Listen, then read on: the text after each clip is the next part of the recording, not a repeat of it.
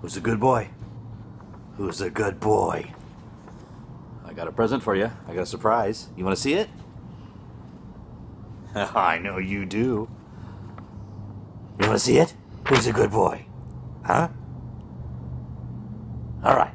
Let's go outside and I'll show it to you. That's a good boy. That's a good boy. All right, you ready? You ready? Here's your surprise. Come on, are you ready? It's Hillary Clinton.